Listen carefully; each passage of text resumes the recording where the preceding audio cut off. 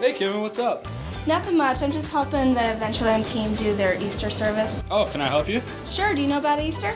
Maybe a little. I'll let you start, but I'll tell you if you're telling, all right? The story starts in the book of Luke. It says that very early Sunday morning, two women came to the tomb where Jesus' body was laid. They brought spices they had prepared, but saw the heavy stone that covered the entrance had been rolled away. They went into the tomb, but Jesus' body was not there. Whoa, that's weird. Weird? What are you talking about? Why would they be looking for Jesus in a tomb? Isn't a tomb for dead people? Jesus was dead. No way. How'd that happen? The Pharisees were jealous of Jesus, so they brought him before the Roman leaders.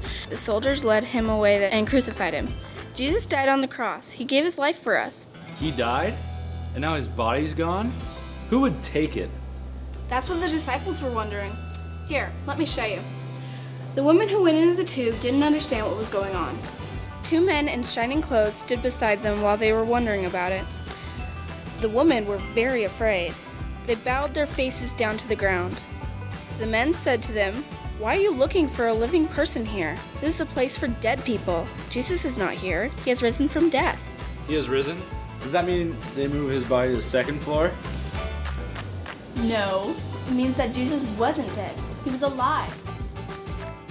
So he died, was put in a tomb, and then he raised from the dead. Yep. Cool. Then what? The women went to go find Jesus' friends and told them what they had seen. And? Peter got up and ran to the tomb to see. He looked in, but he saw only the cloth that Jesus' body had been wrapped in. Peter went away to be alone, wondering what had happened. So, where did Jesus go?